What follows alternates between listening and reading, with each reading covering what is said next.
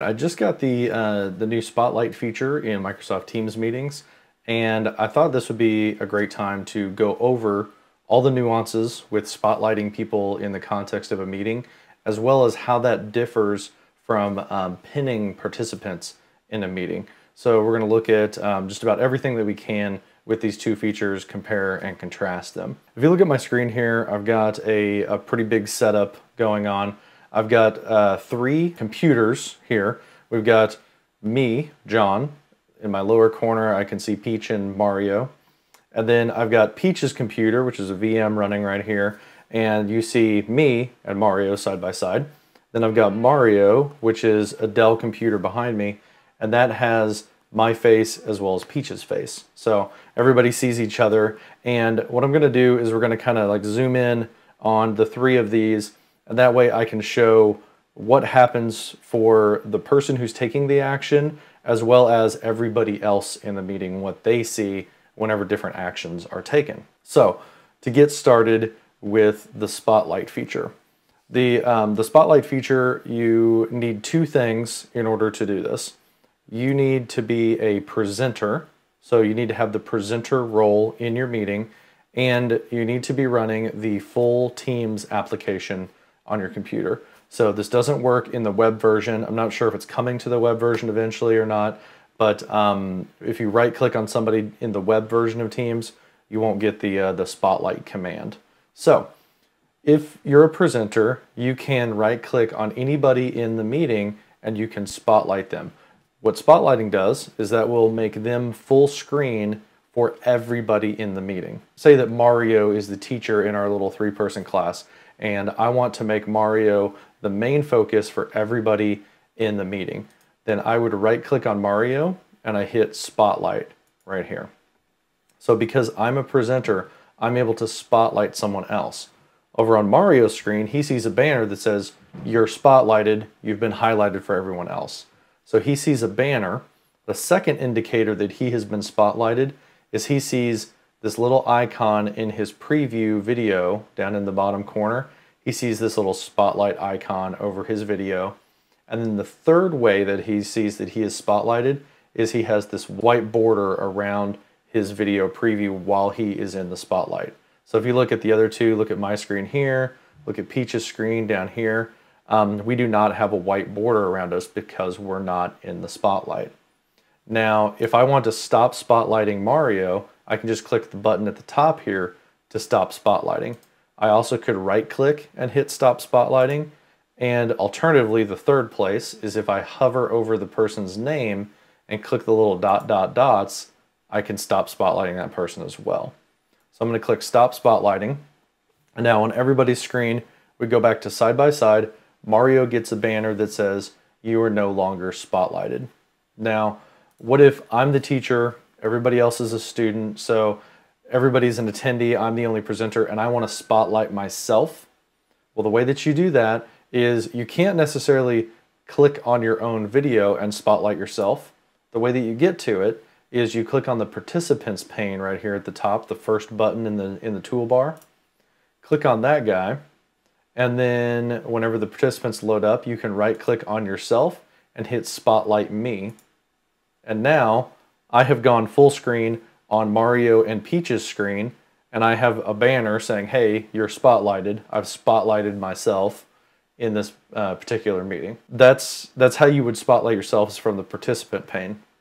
Now, if somebody spotlights you, so let's say that I right click on Peach and I spotlight her.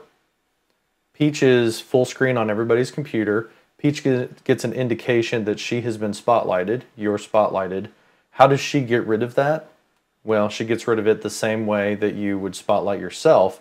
She would go to the participants pane again right here, show all the participants, and then she would see next to her name that she has been spotlighted. So she could right click, stop spotlighting, and now she has taken the spotlight away from herself. So that's how you can um, spotlight other people, spotlight yourself. Now, if Peach is abusing this functionality and I don't want her to be able to spotlight other people, keep in mind you can set up your meeting options before the meeting. So if you go into your meeting options as the organizer, you can say only I can present or only specific people can present and then you won't have students spotlighting random people. But if you need to, in the context of a meeting, say everybody's equal, everybody's a presenter, but you need to do it on the fly, I could just right click on Megan Bowen, which is Peach, and I could make her an attendee. Hit change, and now she has dropped down. The presenters and the attendees are separated, so she gets an indicator that you're now an attendee. And if she right clicks on Mario, she can no longer spotlight, she can only pin Mario. So that leads us to, well, what's the difference between spotlighting and pinning? The difference between these is that spotlighting affects other people in the meeting. Pinning someone only affects your view in the meeting.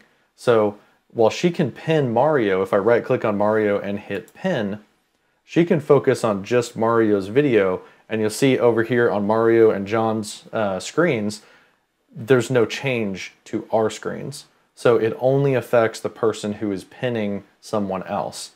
You also don't even get a visual indicator on your, if someone pins your video, you don't get any indicator that says, hey, you've been pinned by Peach.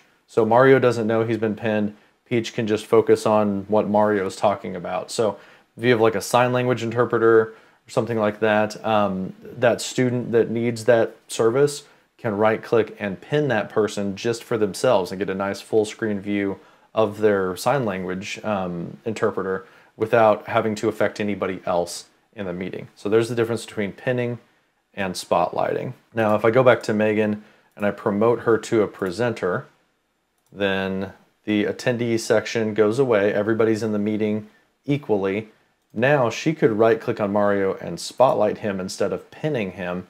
And you see that Mario pops up on my screen and on Mario's screen, he gets you're spotlighted. He gets the two visual indicators showing that he has been spotlighted. So he's full screen for everybody else. Now, what happens whenever you're um, uh, whenever you're recording the meeting? So we'll go back to Nobody is spotlighted now. Everybody is just side by side. I'm going to unpin Mario so that everybody is side by side. They're, this is just a normal meeting at this point. So if I go here and on my computer, I hit start recording, we'll wait till that um, actually starts up. We'll see what happens whenever um, whenever a spotlight occurs. And let's say that I want to spotlight myself. I'm the teacher, I'm gonna spotlight myself for all my students. I would go to the participant pane, I would right click on my own name and hit spotlight me. And what happens is a little banner comes up, says you're spotlighted, but a second one that says spotlighted video won't be recorded. So that means that no matter what the organizer does and they want to spotlight themselves, that will not be captured by the meeting recording, um, which I think is personally, I think that's that's uh, unfortunate because I would expect that if a teacher wants to spotlight themselves for everybody else, that should probably be captured by the recording. But in, the, in at least its current state, um, right out of the box, it does not affect the recording in any way if you spotlight somebody. The, um, the only last thing that I think I could cover here is how does it behave whenever you're sharing some type of content, like you're sharing a screen or something like that. So if I um, if I stop recording here real quick, I'm gonna stop recording. We'll go over here to um, Megan's computer and we'll have her start sharing her screen. Then we'll see what happens whenever you spotlight somebody. So we're gonna do the sharing options. Once that loads up here, I'm gonna share my own desktop. Okay, so I'm sharing my desktop now. Everybody else sees my desktop in the uh, in the meeting here, hopefully. Seems like it's uh, lagging behind a little bit there. There we go. Um, my computer's running at like 98% CPU. Now, what happens if I spotlight Mario? So Peach's screen is being shared, but I, as another presenter, can right click and spotlight Mario. If I do that, you'll see that Mario becomes the full focus for that computer or for, for my uh, window. Mario gets the Your Spotlighted feature, but it doesn't take it away from Mario for some reason. Now, if I bring up the meeting on Peach's screen, even though she's still sharing her screen, bring up the meeting right here, we'll see that Mario is in fact spotlighted even for the person who is sharing their screen. Let's maximize this so we can see the, uh, the ribbon along the bottom. And you see in the ribbon down here, if I minimize this meeting window again, uh, in the ribbon right here, that that shared screen is still being shared in the meeting. It has just moved down to the bottom area where all of the other content is. Now, if I click on that, I can, for myself, see that content on the uh, on the screen. So whenever you spotlight somebody and some content is being shared, that will replace that content with that person's face that you spotlighted. They get the full screen video, um, but the person, anybody in the meeting, has the ability to override that um, that spotlight at the time by just clicking on the content from their little ribbon along the bottom. They can see that other one, even though the person has been has been spotlighted. The last thing that we're going to test is what happens if we um, spotlight somebody. Does that person, does an attendee who has a spotlight forced upon them, um, are they able to switch out their view to see somebody else in the meeting? So right here, I'm the organizer. I'm going to spotlight myself. So I right click on myself.